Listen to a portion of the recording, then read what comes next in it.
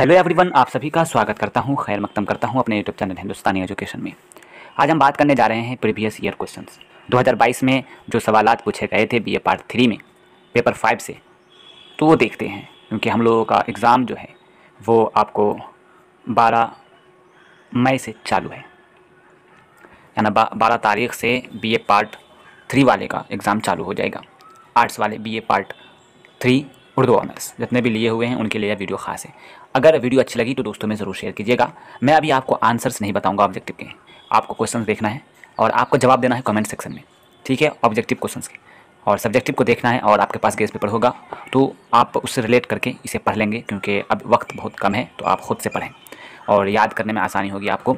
हाँ लगे कि आ, मुझे नहीं बन रहा है सवाल तो मैं वो सवाल का जवाब जो है या तो आपके कमेंट सेक्शन में ही आ, पिन कर दूँगा। ठीक है? तो आप वहाँ से आप आराम से पढ़ सकते हैं। तो चले देखते हैं किस तरह का सवाल पूछा गया था 2022 में। हमें मालूम है कि तीन हिस्से में बटा हुआ है, ग्रुप अलीफ, ग्रुप बे, उसके बाद जीम। तो चले देखते हैं किस तरह का सवाल पूछा है। तो सबसे पहले जो दिया है वो है मारोजी सवाल जो कि 20 नंबर के होंगे और 10 सवाल पूछे जाएँगे। तो देखिए, पहला सवाल पूछा है कि मोहम्मद सल्लल्लाहु अलैहि वसल्लम की विशाल, कितने साल की उम्र में हुआ? यानी मोहम्मद सल्लल्लाहु अलैहि वसल्लम का इंतकाल जो है वो कितने साल में हुआ था? तो तीन ऑप्शन दिए हुए हैं और इसका आंसर मैं बता देता हूँ। इनका जो इंतकाल हुआ था, तिरसठ साल के एज में हुआ था, ठीक है? आप जितने भी ऑब्जेक्टिव बचेगा, उसे कमेंट सेक्शन में बताइएगा इसका आंसर ठीक है? ताकि मुझे लगे कि आप लोगों ने देखा है और किसने देखा है और किसने इसे याद किया हुआ है। तो दूसरा सवाल है, आप सल्लल्लाहु अलैहि वसल्लम का नाम मोहम्मद किसने रखा? ठीक है? उसके बाद है गार हरा में आप सल्लल्लाहु अलैहि वसल्लम के साथ कौन सहाबी थे? उसके बाद है, जिस गार हिरा में जाकर हजूर सल्लल्लाहु अलैहि वसल्लम इबादत करते थे, उसका नाम क्या था? सॉरी मैंने तो आंसर ही बोल दिया। जिस गार में जो जाकर वो इबादत करते थे, उसका नाम था गार हिरा, ठीक है? तो इसके बाद है, गजवा खंदक, यानी खंदक की लड़ाई जो हुई, वो कब हुई थी? तो तीन ऑप्शन दिए हुए हैं। इसके बाद है, पहले खलीफा का नाम क्या है? तो आराम से आप दीजिएगा इसका जवाब हमें कमेंट सेक्शन में। अगला सवाल है, वो है खलीफा अरबा। में सबसे ज़्यादा मुद्दत खिलाफत रही तो किसकी सबसे ज़्यादा खिलाफत रही है? तो वो आप मुझे बताएँगे। उसके बाद है रहमत आलम के मुसनफ़ कौन है? इसके बाद है खलफा राशिदा।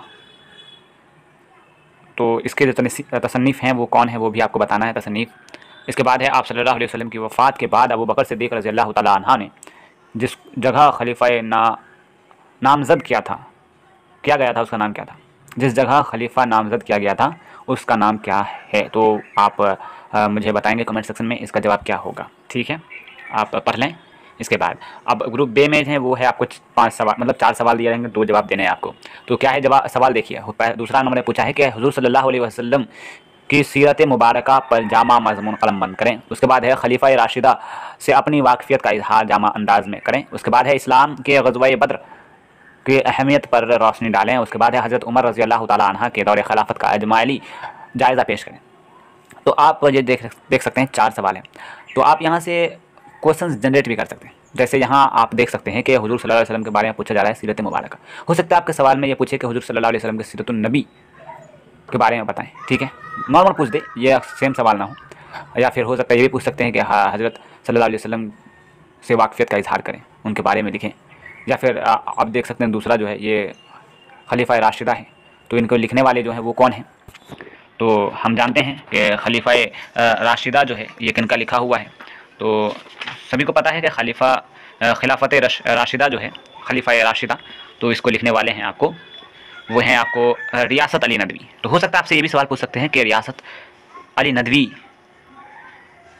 के हालात ज़िंदगी के बारे में बताएँ। ठीक है? दूसरा जो चौथा नंबर पूछा है कि इस्लाम में गजवा बद्र, हमें मालूम है कि गजवा बद्र भी हुआ, गजवा उहद भी हुआ, गजवा खंदक भी हुआ। तो हम जानते हैं कि बहुत सारे लड़ाइयाँ हुई थी।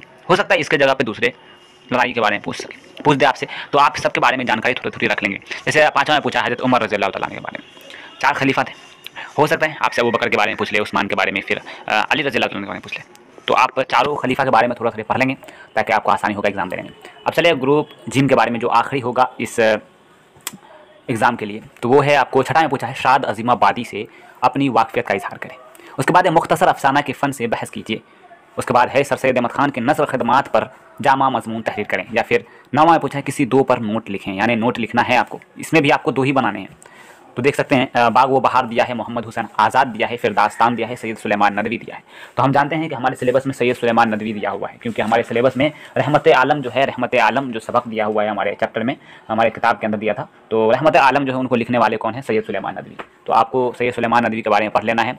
हाँ उसके बाद बाग व बहार, इन सब के बारे में थोड़ा थोड़ा जानकारी रखना है। उसके बाद अगर एग्ज़ाम में पूछता है तो आप आसानी के साथ लिख सकते हो, ठीक है? क्योंकि अभी भी वक्त है, दस दिन बचा हुआ है, और मैं इंशाल्लाह जितने भी पेपर हैं, सभी के मैं प्रीवियस ईयर क्वेश्चंस आपको पर करा दूँगा, ताकि आप आसानी के साथ एग्ज़ाम में बैठो और आसानी से लिखो।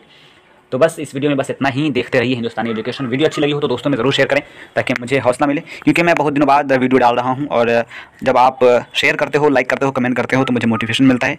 तब जाकर मुझे लगता है कि नहीं, अगर बच्चे चाह रहे हैं तो मैं फिर वीडियो बनाता हूँ। चलें बहुत बहुत शुक्रिया आप सभी की मोहब्बतों का, फिर मिलते हैं good bye and take care